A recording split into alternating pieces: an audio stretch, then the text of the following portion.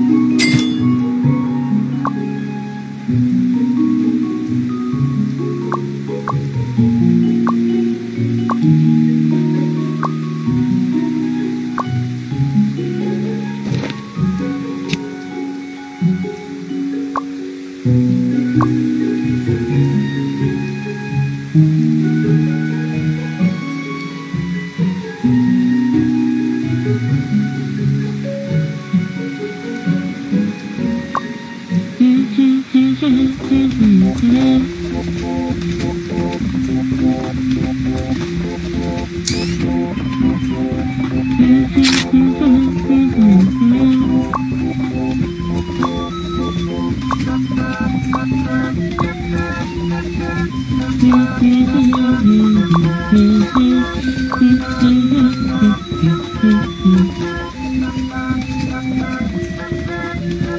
Mm-hmm.